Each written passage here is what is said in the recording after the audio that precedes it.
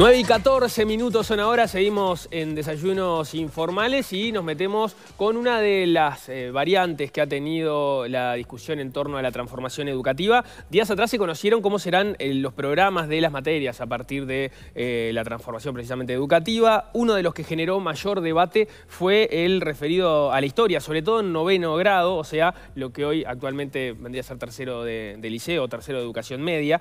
Y entre otras cosas se discutió eh, porque si bien la modificación que tomó Mayor Estado Público tiene que ver con la bibliografía, eh, estos no fueron los únicos eh, cambios que introdujo la NEP, es una discusión más amplia, nos parecía interesante abordarla y por eso recibimos aquí en, estudios a Pablo Fusé, que es coordinador del Centro de Estudios sobre Laicidad y Educación de la NEP. Fusé, bienvenido, ¿cómo le va? Muchas gracias, bienvenido y un saludo para todos. capaz que conviene, y sobre todo porque además hice la introducción un poco entreverada, explicar bien cuáles son los documentos estos que estamos este, discutiendo en, este momento, qué son estos textos y cómo fue el proceso de elaboración de los mismos.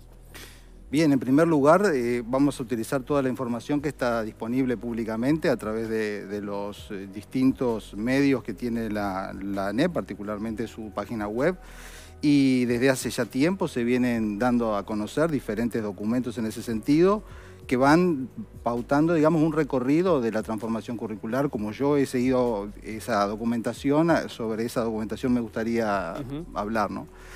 Y en ese marco es que se han ido determinando los, eh, las progresiones de aprendizaje, las competencias que se van a utilizar en el caso de la transformación curricular y particularmente luego que está ese tránsito cumplido, los programas.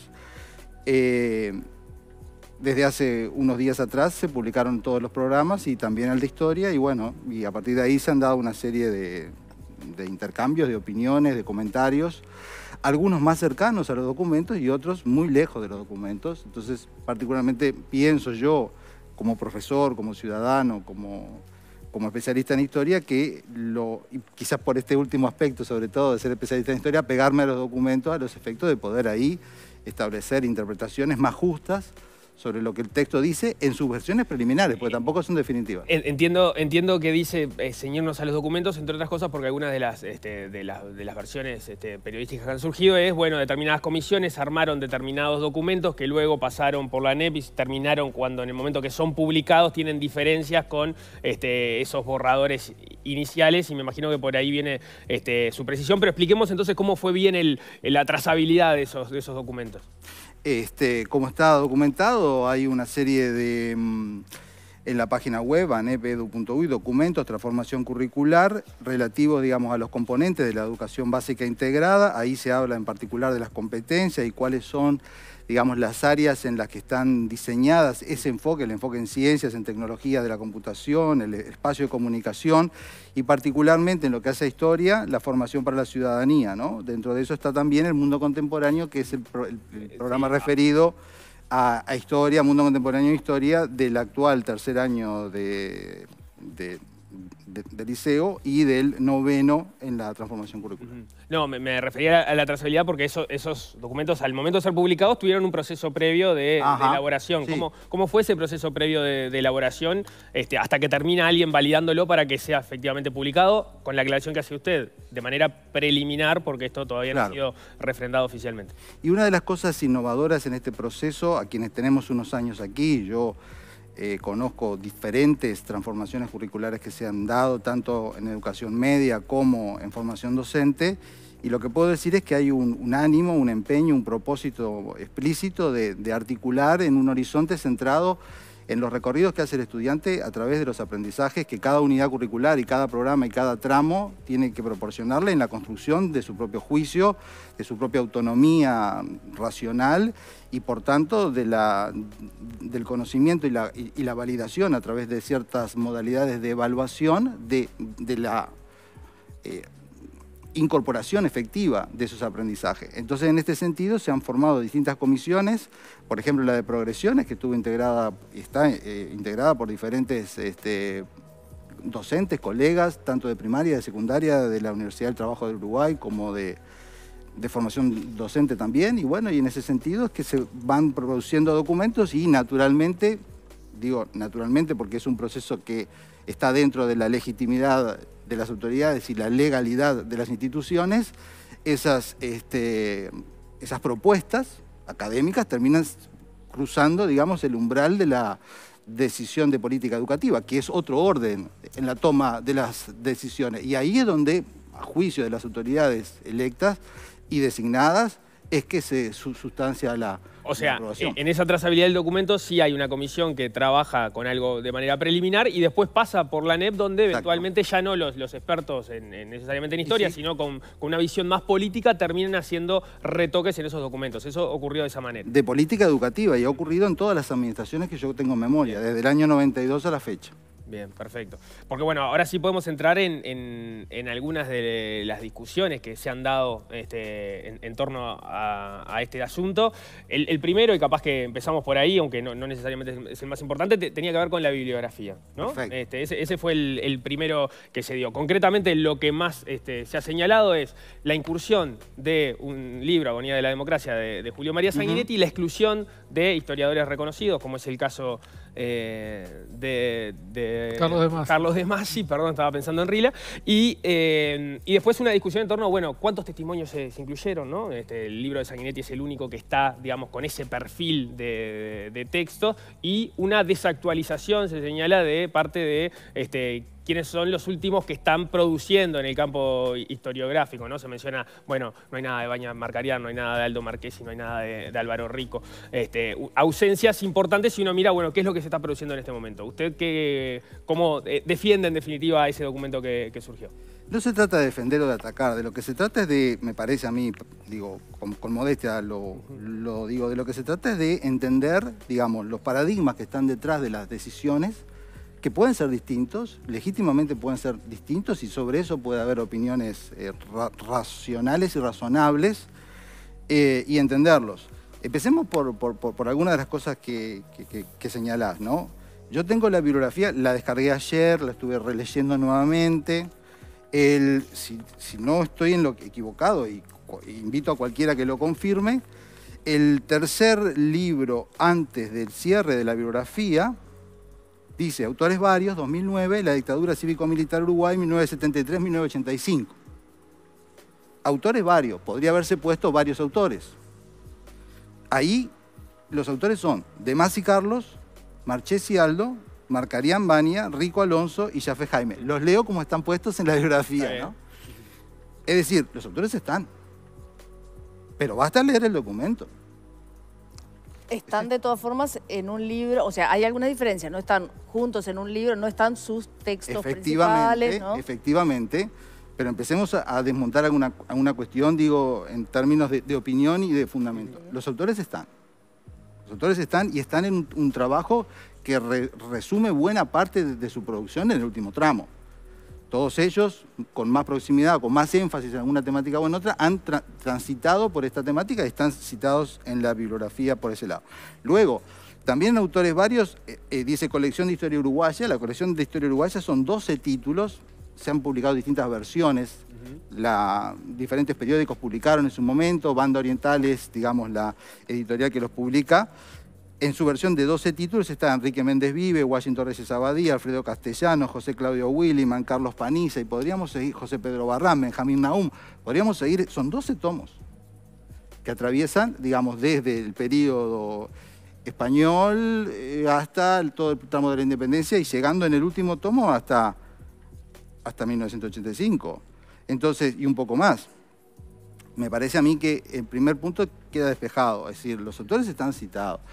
Ahora vamos al paradigma. El paradigma es, a diferencia del plan anterior, que lo tengo aquí también, y del programa anterior, que tenía una lista exhaustiva o con pretensión de exhaustividad, porque eso es imposible, se, por lo visto se ha tomado el criterio de seleccionar una literatura orientativa al docente a los efectos que él pueda transitar por distintos contenidos temáticos desde esa mirada genérica y luego, naturalmente, conforme a su formación y a la demanda de los estudiantes al contexto de los aprendizajes y naturalmente también a lo que tiene que ver con su idoneidad técnica, con su curso de posgrado, etcétera, profundizar en las áreas que le resulten más oportunas. Eso ha ocurrido en todos los programas y seguramente ocurra en todos los próximos programas, sean de esta meditación o de cualquier otro. Ahora, Emiliano Mandás, secretario general de FENAPES, criticó puntualmente la incorporación del texto de Sanguinetti porque dice que va en contra de la laicidad en el sentido de que no incorpora miradas históricas, digamos, y él representa un protagonista de la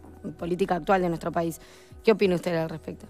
Muy interesante. Este, yo lo tengo aquí el texto, el expresidente Sanguinetti tiene suficiente autoridad como para defenderse por sí mismo en el libro, ¿no?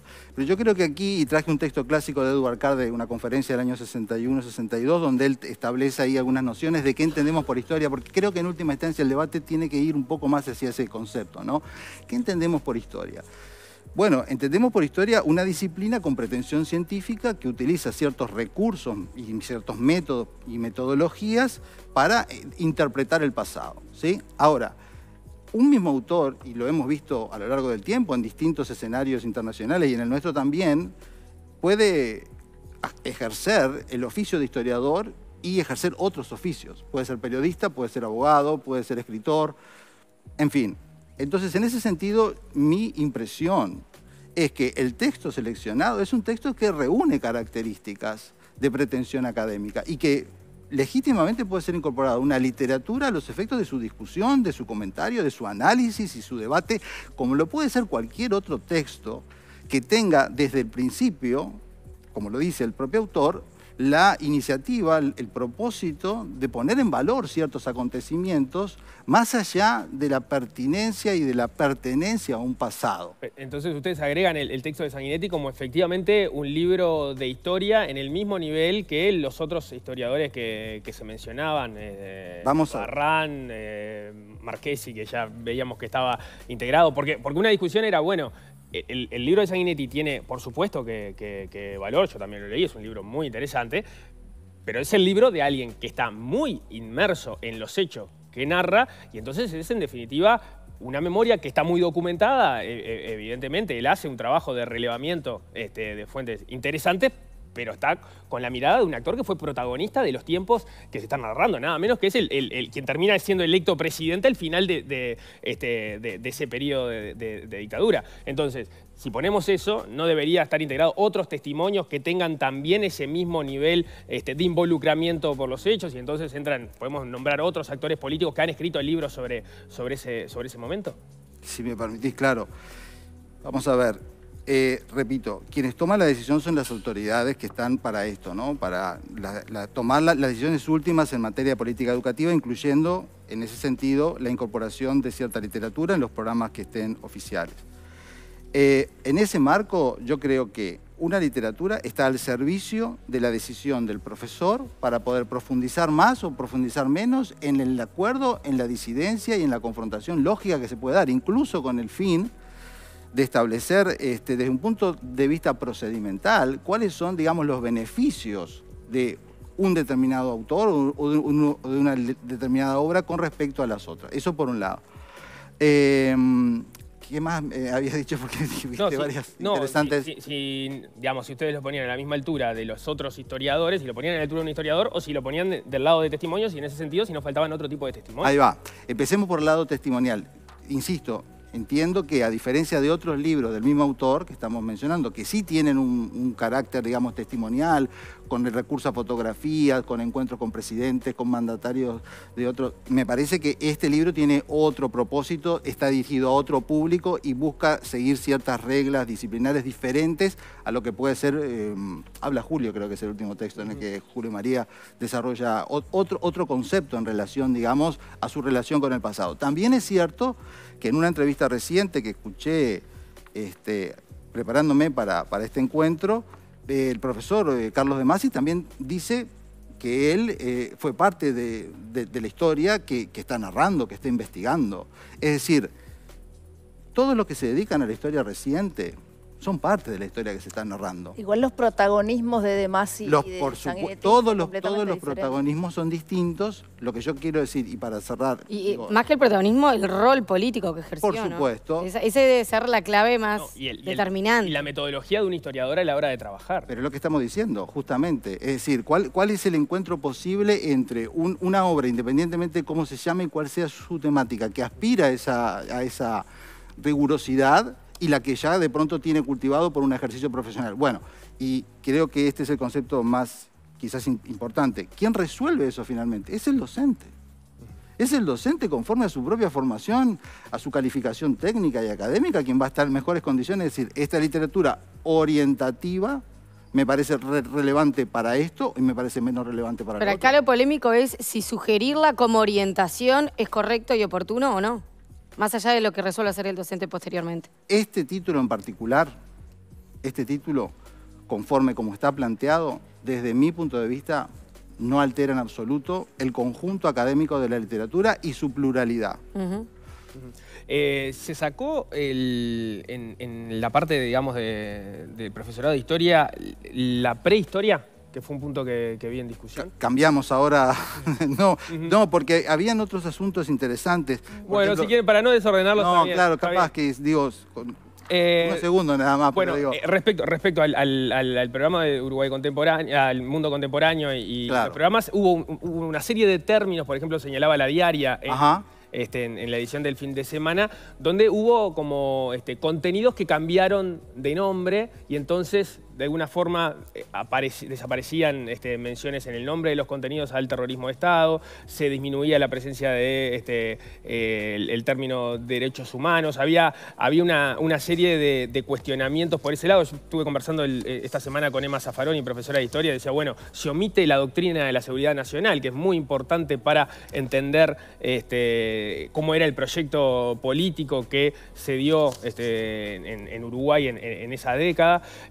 ¿Usted qué, señala sobre eso?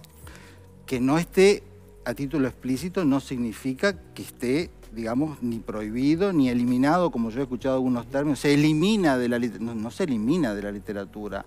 En la selección propuesta, que es reducida precisamente por consideraciones de la hiperespecialización del conocimiento contemporáneo, el desarrollo de múltiples campos investigativos que no se puede dar cuenta en un programa al punto tal que instituciones terciarias y superiores como la propia Universidad de la República cuando publican sus programas de historia para licenciatura, se refieren a un máximo de 9, 10 obras. Naturalmente, llegado el momento de la profundidad, el docente a cargo con su ejercicio profesional podrá decir sobre este punto en particular vamos a seguir esta línea de investigación o estos autores.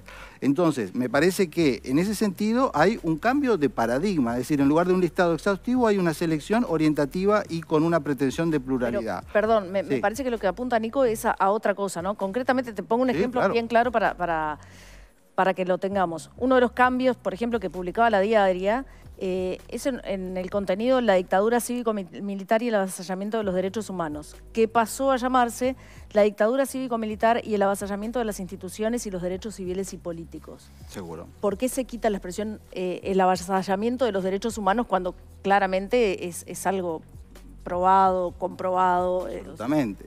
Bueno, ¿cuál, es la explicación? Primero, eso yo no sé cuál es la explicación para el cambio. Lo que sí puedo decir claramente que la, consideración de los derechos humanos es un eje transversal de toda la, propuesta educativa. Y en el programa particular que estamos estudiando comienza con un enfoque humanista y socioformativo, se entiende la autonomía curricular y de ahí en adelante lo va desarrollando.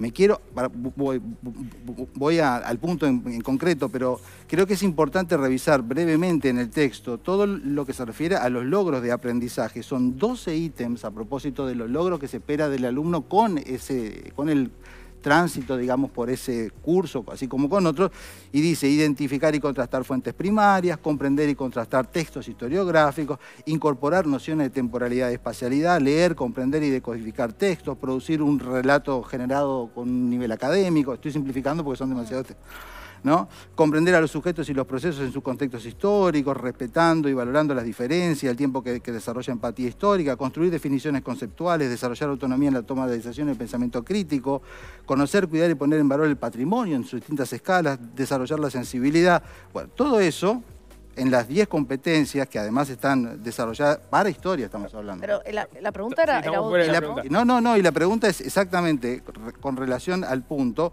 el eje de los derechos humanos está tratado en otras unidades curriculares del mismo nivel, del mismo tránsito, pero también está en la propuesta curricular.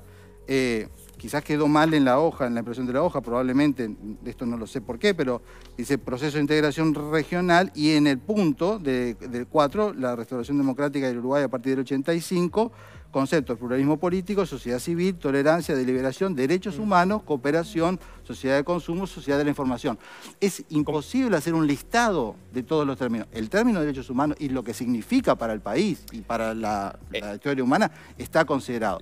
El profesor puede correrlo, naturalmente. La, discusión está, dada, por lo menos en, los términos que, figuraban en, la nota de la diaria, en que eso estaba previsto en, el, documento que sale de, la comisión como nombres de los temas, para empezar, el, tema de los derechos humanos estaba un poco antes, estaba vinculado a, la dictadura en sí, no como tema posterior de parte de, ya cuando estábamos en, democracia, como un tema, bueno, este, la las reivindicaciones de los grupos sociales en torno a los derechos humanos, no, para atrás, cuando se estaban violando los derechos humanos durante el terrorismo de Estado y, se borran como si fueran este, como este, vergonzante, si se quiere, el término terrorismo de Estado, el término derechos humanos en los nombres de, este, de, las propias bolillas, llamémosle. Claro, de los temas. Eso, que de lo que acabamos de leer. Pienso yo, a título estrictamente personal, que una sociedad democrática como la nuestra eh, salvo una persona que no tenga una fidelidad democrática y republicana, digo, todas estas cuestiones están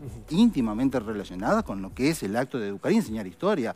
De hecho, en el programa anterior, es decir, en el que está en la unidad anterior, el programa que equivaldría a lo que hay de segundo año, en donde se recorre, digamos, todo el proceso de la construcción del pensamiento liberal clásico, es decir, de la ilustración en adelante, ahí ya comienza el debate con relación a la lucha del pensamiento de la ilustración con relación al, feudalismo, al antiguo régimen, y todo eso es transversal también. Es decir, que esté puesto más hacia el final o más hacia arriba o más hacia el centro, a mi modesto punto de vista, no, altera el concepto de la autonomía y la criticidad que el profesor tiene al momento de determinar el traslado, el movimiento, porque cuando damos clase los conceptos son reversibles, vos vas dando una temática y volvés a ella, es decir, no, no, por lo que yo sé de la experiencia y la literatura, está claro que al empezar una temática vos vas inaugurando, introduciendo una serie de términos y de procedimientos y de acontecimientos y conforme va cambiando eso, vas volviendo a eso. Es decir, vas revisando y ampliando el contenido de los conceptos. Entonces creo yo que perfectamente puede tratarse en cualquier recorrido de este programa que tenemos. Muy bien. Pero es una opinión. Eh, Pablo Fusé, coordinador del Centro de Estudios sobre Laicidad y Educación de la NEP, muchísimas gracias por estos minutos. Quedan más temas a, a Muchas gracias. Para, invitarlo de nuevo. Muchas gracias. Ahora cuando